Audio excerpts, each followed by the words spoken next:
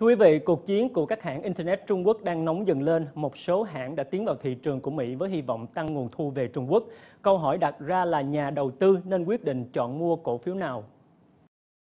Các đại gia trên trường công nghệ của Trung Quốc đang tiến vào Mỹ. Tập đoàn Alibaba, JD.com, Weibo đều lập dự định sẽ niêm yết trên sàn chứng khoán Mỹ trong tương lai gần.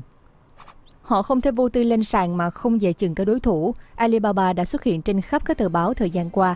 Vậy còn các đối thủ khác thì sao?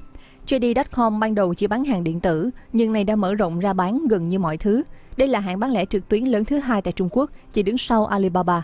JD đang đầu tư một mạng lưới logistics rất lớn, vì vậy thách thức lớn nhất trong ngắn hạn của JD là doanh thu. Mặt khác, hãng Tencent, hãng sở hữu WeChat, ứng dụng thoại phổ biến nhất tại Trung Quốc, vốn đã lên sàn Hồng Kông, thì nay cũng đang tính chuyện IPO cho WeChat. Weibo thì thuộc sở hữu của hãng Sina, vốn đã lên sàn New York và Alibaba cũng có cổ phần. Weibo sở hữu lượng người dùng lên đến hàng triệu, nhưng những ngày tháng huy hoàng đó đã qua khi người Trung Quốc dần chuyển sang dùng WeChat. Nhìn chung các hãng này đều đang nổi lên như những đại gia tức thời. Vậy nếu xét dài hạn, đây có phải là những cổ phiếu đáng mua?